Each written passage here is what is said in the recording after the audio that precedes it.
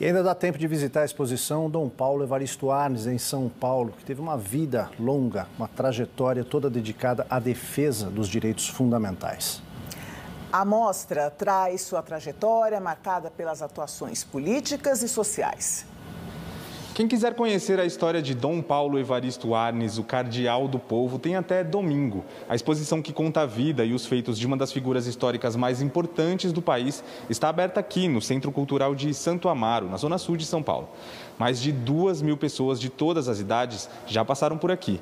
A mostra retrata os grandes períodos da vida do líder religioso fundamental para a reabertura democrática do Brasil nos anos 80.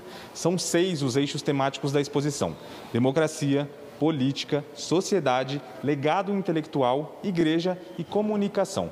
Quem conta mais sobre o legado de Dom Paulo e a importância de resgatar a memória do arcebispo é a jornalista Evanise Sidov, biógrafa de Arnes e uma das organizadoras da exposição.